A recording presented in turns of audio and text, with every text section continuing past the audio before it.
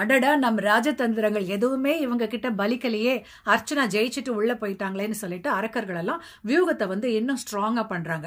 இந்த முறை ரியோ ஒரு ஐடியா கொடுக்குறாரு ரொம்ப மட்டமான ஐடியா ஆரஞ்சு ஸ்கின்னை வந்து இப்படி ஆரஞ்சு தோலை இப்படி பிழிஞ்சு அதுலேருந்து சாறு தெளிக்கும்ல அந்த சாறு தெளிக்க வச்சு அவங்கள தோக்கடிக்கலாம் ஸ்ப்ரே அடிச்சு அவங்கள வாசனையிலால அவங்கள வந்து டிஸ்ட்ராக்ட் பண்ணலாம் இப்படியெல்லாம் வந்து வியூகம் அமைக்கிறாங்க.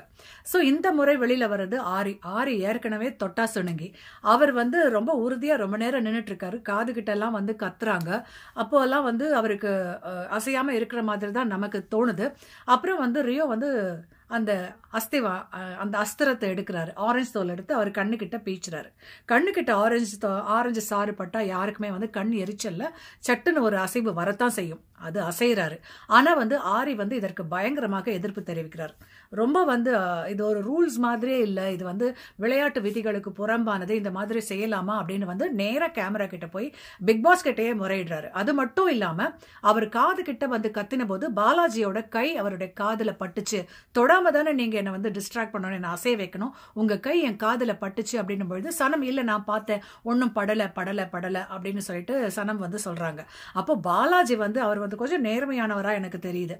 அவரே சொல்றாரு இல்ல நான் கை பட்டுடுச்சு. நான் வந்து எதிர்பார்க்கல ஆனால் என் கை பட்டுச்சுங்கிறத அவரே ஒத்துக்கிறாரு.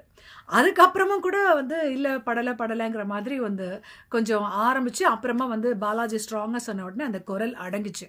அப்புறம் கண்ணில் வந்து ஆரஞ்சு சாறு தெளிக்கிறது வந்து தவறு இல்லையா? அதுக்கு வந்து பிக் பாஸ் வந்து ஏதாவது தேர்ட் அம்பையர் டெசிஷன் மாதிரி ஏதாவது பண்ணுவார் அப்படின்னு சொல்லி பார்த்தா அவர் வந்து நீங்கள் இந்த இந்த கேமில் ஆரி தோத்துட்டதை அறிவிக்கிறாரு. ஆரி வந்து மௌனமாக அந்த தீர்ப்பை வந்து ஏற்றுக்கிட்டு அரக்கர்கள் கூட்டத்தோட சேர்றதுக்காக ரொம்ப மௌனமாக இறுக்கமான மௌனத்தோட நடந்து போகிறாரு அப்புறம் ஆரி ஆரி வந்து அவரை வந்து தயார்படுத்துறாங்க. கருப்பு நிறம் எல்லாம் பூசி. அவருக்கு அந்த கோவம் இன்னும் இருக்கு. தன்னை தோற்கடித்த விதம் வந்து ரொம்ப ரூல்ஸ்க்கு புறம்பானது அப்படிங்கிற கோவம் அவர் முகத்தில் அப்பட்டமா எழுதி ஒட்டி இருந்தது எப்படி எப்படி பண்ணலாம் அப்படிங்கறத அவங்க டிஸ்கஸ் பண்ணும்பொழுது நீங்க ஸ்ப்ரே உங்க கையில கொடுத்துடுறோம். ஏன்னா இப்போ அவங்க அரக்கர் கூட்டம் இல்லையா? இவர்களுடைய அடிமை இல்லையா? நாங்கள் ஸ்ப்ரே கொடுத்துடுறோம். நீங்க ஸ்ப்ரே அடிங்கன்னு.